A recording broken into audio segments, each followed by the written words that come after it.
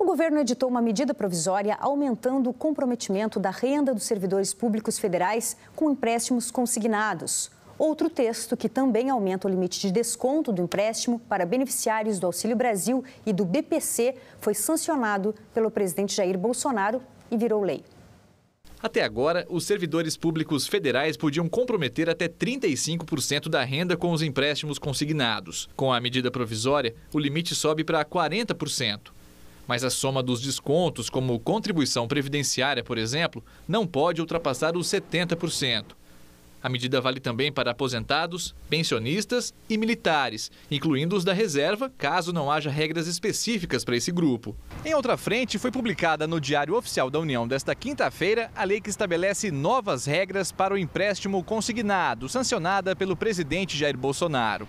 Ela estabelece novos limites de comprometimento de recursos para beneficiários de programas de transferência de renda do governo, como o Auxílio Brasil.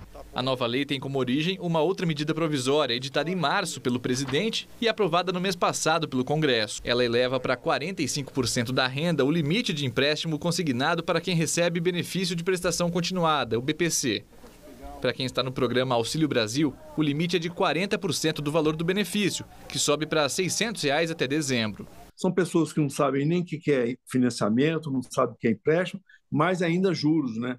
Então tem que ter muito cuidado, porque de fato as pessoas podem trocar um sorriso por uma tristeza muito grande, porque depois não tem nem o, valor, né? Esse valorzinho todo mês que vai embora com as prestações do empréstimo. A forma como esses empréstimos vão ser concedidos ainda vai ser regulamentada pelo governo, provavelmente ainda nessa semana. Mas o limite de juros que os bancos poderão cobrar pode ficar de fora, ao contrário do que ocorre com outros grupos, como os aposentados. Hoje, os servidores públicos pagam em média quase 21% de juros ao ano no consignado. Para os beneficiários do INSS, a taxa não chega a 27% ao ano. Ela encosta nos 37% ao ano para os trabalhadores do setor privado. Já no caso do Auxílio Brasil, o juro pode chegar a 79% ao ano ou até mais, dependendo da instituição financeira. A probabilidade muito grande é que esse crédito seja tomado como complemento de renda de maneira permanente. E isso é ruim e conduz ao superendividamento.